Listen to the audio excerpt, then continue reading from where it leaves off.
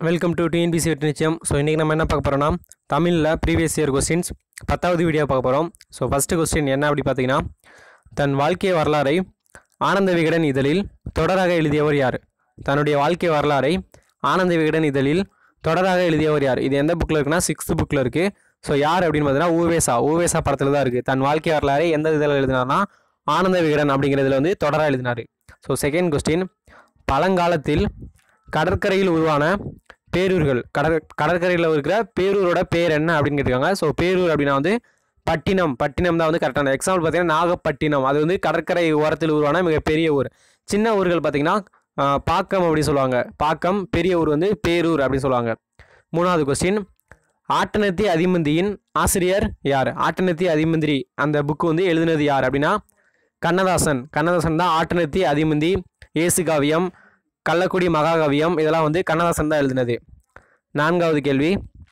இந்தியாவின் தேசிய பங்கு விகிதம். இந்தியாவின் தேசிய பங்கு விகிதம் என்ற நூலை எழுதியவர் யார்? இந்தியாவின் தேசிய பங்கு விகிதம். இது எத்தனாவனா பத்தாம் புக்கில் இருக்குது அம்பேத்கர் படத்தில். ஸோ அம்பேத்கர் தான் வந்து இந்தியாவின் தேசிய பங்கு விகிதம் அப்படிங்கிற நூலை வந்து எழுதியவர். ஐந்தாவது கொஸ்டின் உவமை கவிஞர் என போற்றப்படுபவர் யார்? உவமை கவிஞர் என போற்றப்படுபவர் யார்? யார் அப்படின்னு பார்த்தீங்கன்னா சுரதா. சுரதா தான் வந்து ஓமை கவிஞர் அப்படின்னு வந்து சொல்லுவாங்க. ஆறாவது கொஸ்டின் ஒரு கிராமத்து நதி என்ற நூலின் ஆசிரியர். ஒரு கிராமத்து நதி என்ற நூலின் ஆசிரியர். இது வந்து டுவெல்த் புக்கில் இருக்குன்னு நினைக்கிறேன். ஒரு கிராமத்து நதி என்ற நூலின் ஆசிரியர் யாருன்னா சிற்பி பாலசுப்ரமணியம். சிற்பி பாலசுப்ரமணியம் தான் வந்து ஒரு கிராமத்து நதி அப்படிங்கிற நூலோட ஆசிரியர். ஸோ ஏழாவது கொஸ்டின் தமிழ் நாடக தந்தை என போற்றப்படுபவர் யார்? தமிழ் நாடக தந்தை என போற்றப்படுபவர் யார்? ஸோ யாருன்னு பார்த்தீங்கன்னா பம்மல் சம்பந்தனார். பம்மல் சம்பந்தனார் தான் தமிழ் நாடக தந்தை அப்படின்னு வந்து சொல்லுவாங்க. எட்டாவது கொஸ்டின் நீதி திருக்குறளை நெஞ்சார தம் வாழ்வில் ஓதி தொழுது எழுக ஒருந்து நீதி திருக்குறளை நெஞ்சார தம் வாழ்வில் ஓதி தொழுது எழுக ஒருந்து அப்படின்னு வந்து திருக்குறளை வந்து புகழ்ந்து பாடியவர் யார் அப்படின்னு பார்த்தீங்கன்னா கவிமணி தேசிய விநாயகம் பிள்ளை. கவிமணி தேசிய விநாயகம் தான் பிள்ளை. தான் வந்து திருக்குறளை புகழ்ந்து பாடியிருக்கார். இந்த லைன் அடுத்த கொஸ்டின் இந்திய அரசின் ஞானபீட விருது பெற்ற முதல் தமிழன். ஞானபீட விருது வந்து ஸ்பெஷல் இந்தியாவில் வந்து சிறந்த மொழிகளுக்கு தரப்படுற விருது தான் வந்து ஞானபீட விருது. ஸோ அந்த ஞானபீட விருது இந்திய அரசின் ஞானபீட விருது பெற்ற முதல் தமிழன் யார் அப்படின்னு பார்த்தீங்கன்னா அகிலன். அகிலன் தான் வந்து இந்திய அரசின் ஞானபீட விருது பெற்ற முதல் தமிழன். பத்தாவது கொஸ்டின் எட்டயாபுரம் கடிகை முத்து புலவரின் மாணவர். எட்டயாபுரம் கடிகை முத்து புலவரின் மாணவர். ஒரு நாலு பேர் கொடுத்துருந்தாங்க. ஸோ யார் அப்படின்னு பார்த்தீங்கன்னா உமர் புலவர். உமர் புலவர் தான் வந்து எட்டயபுரம் கடிகைமுத்து புலவரோட மாணவராக இருந்தார். ஸோ பதிவோராவது கொஸ்டின் வீரமாமுனிவர் தமது எத்தனை வயதில் தமிழகம் வந்து தமிழ் படித்து காப்பியம் படித்தார்? வீரமாமுனிவர் தமது எத்தனை வயதில் தமிழகம் வந்து தமிழ் படித்து காப்பியம் படித்தார்னா முப்பதாவது வயதில் தான் வந்து வீரமாமுனிவர் வந்து தமிழ்நாட்டுக்கு வந்திருப்பார். ஸோ பன்னிரெண்டாவது கொஸ்டின் இது வந்து பார்த்திங்கன்னா லெவன்த்து புது புக்கில் இப்போ உள்ள புக்கில் கொடுத்துருக்காங்க. பட் இந்த கொஸ்டின் பார்த்தீங்கன்னா டூ தௌசண்ட் சிக்ஸ்டீனில் கேட்ட கொஸ்டின்ஸ் டூ தௌசண்ட் சிக்ஸ்டீனில் உள்ள கொஸ்டின் அப்போவே வந்து கொடுத்ததை லெவன்த்து புது புக்கில் இப்போ நிறைய அப்டேட் பண்ணியிருக்காங்க ஸோ கருணாமிர்த சாகரம் எனும் இசை ஆராய்ச்சி நூலை பாடியவர் யார்? கருணாமிர்த சாகரம் எனும் இசை ஆராய்ச்சி நூலை பாடியவர் தமிழ் இசை இயக்கத்தின் தந்தை அப்படின்னு கூட போன கொஸ்டினில் கேட்டிருந்தேன்.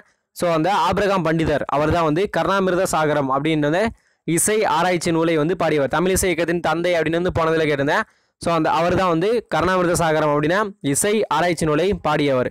லெவன்த்து புது புக்கில் இருக்குது பட் இந்த question two thousand sixteen question பதிமூணாவது கொஸ்டின் திராவிட சாஸ்திரி எனும் பட்டத்தை பெற்றவர் யாருன்னா பரிதிமார் கலைஞர் ரிப்பீட்டட் கொஸ்டின் சிவே தாமோதரன் தான் வந்து அவருக்கு திராவிட சாஸ்திரி அப்படின்னு வந்து வச்சிருப்பார். பரிதிமார் கலைஞர். பதினாலு வந்து இன்றைய கர்நாடக இசைக்கு தாய். இன்றைய கர்நாடக இசைக்கு தாயாக விளங்குவது எது? இன்றைய கர்நாடக இசைக்கு தாய் எதுன்னு பார்த்தீங்கன்னா தமிழ். நம்ம தமிழ் மொழி தான் வந்து இன்றைய கர்நாடக இசைக்கு வந்து தாய்.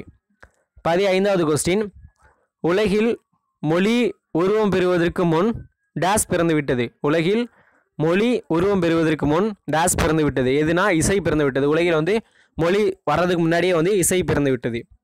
பதினாறாவது கொஸ்டின் ஷேக்ஸ்பியரின் ஆங்கில நாடகங்களை மொழிபெயர்த்தவர். ஷேக்ஸ்பியரின் ஆங்கில நாடகங்களை தமிழில் மொழிபெயர்த்தவர் யாருன்னா பம்மல் சம்பந்தனார். பம்மல் சம்பந்தனார் தான் ஷேக்ஸ்பியரின் ஆங்கில நாடகங்களை வந்து தமிழில் மொழிபெயர்த்திருக்காரு. பதினேழாவது கொஸ்டின் மிக வேகமாக செய்யுள் நூல். இந்த இடத்துல வந்து மிஸ்டேக் செய்யுள் நூல் எழுதுவதில் வல்லவர் பல செயல் நூல்களை எழுதியுள்ளார். மிக வேகமாக செயல் நூல் எழுதுவதில் வல்லவர் பல செயல் நூல்களை எழுதியுள்ளார். யார் அப்படின்னா மீனாட்சி சுந்தரம் பிள்ளை அவர் தான் வந்து ஸ்பீடாக எழுதுவார். நிறைய செயல் நூல்கள் எழுதியுள்ளார். மீனாட்சி சுந்தரம் பிள்ளை பதினெட்டாவது கொஸ்டின் பேசும் தாய்மொழியில் மாட்டு அன்பில்லாத ஒருவன் தாயையும் நாட்டையும் பழித்தவன் ஆவான். தாயையும் நாட்டையும் இந்த இடத்துல வந்து பழித்தவன் ஆகும். பழித்தவன் மிஸ்டேக் பழித்தவன் ஆவான். ஸோ யார் அப்படின்னு பார்த்தீங்கன்னா இந்த இது யார் சொன்னால் திருவிக்கா. திருவிக்கா அந்த உரைநடையில் இருக்கும். பேசும் தாய்மொழியில் மட்டும் அன்பில்லாத ஒருவன் தன்னுடைய தாயையும் நாட்டையும் பழித்தவன் ஆவான் அப்படின்னு வரும். யாருன்னா திருவிக்காவோட கூற்று தான் பத்தொன்பதாவது கொஸ்டின் வால்ட் விட்மன் சாயலில் வசன கவிதை எழுதியவர். பத்தொன்பதாவது கொஸ்டின் வால்ட் விட்மன் சாயலில் வசன கவிதை எழுதியவர். யாருன்னா பாரதியார் தான் வந்து வால்ட் விட்மன் சாயலில் வசனக்கவே எழுதியவர். இருபதாவது கொஸ்டின் கிறிஸ்தவ கம்பர் என்று போற்றப்படுவர். கிறிஸ்தவ கம்பர் என்று போற்றப்படுவர். யாருன்னா எச்ஏ கிரீட்டன பிள்ளை தான் வந்து கிறிஸ்துவ கம்பர் அப்படின்னு சொல்லுவாங்க. ஸோ போன வீடியோவில் கேட்ட ரெண்டு கொஸ்டின் தமிழிசை இயக்கத்தின் தந்தை யாருன்னா? ஆபிரகாம் பண்டிதர். அவர் தான் தமிழிசை இயக்கத்தின் தந்தை அப்படின்னு சொல்லுவாங்க. ஸோ அதுக்கப்புறம் வந்து முழுவதுமாக தமிழில் எழுதி இந்திய ஆட்சி பணி தேர்வை முதன் முதலில் தேர்ச்சி பெற்றவர் யார்? ஃபுல் அண்ட் ஃபுல் தமிழில் எழுதி இந்திய ஆட்சி பணி தேர்வு பாஸ் ஆனவர் ஆர். பாலகிருஷ்ணன். அவர் தான் வந்து ஃபுல் அண்ட் ஃபுல் தமிழில் எழுதி பாஸ் ஆனவர்.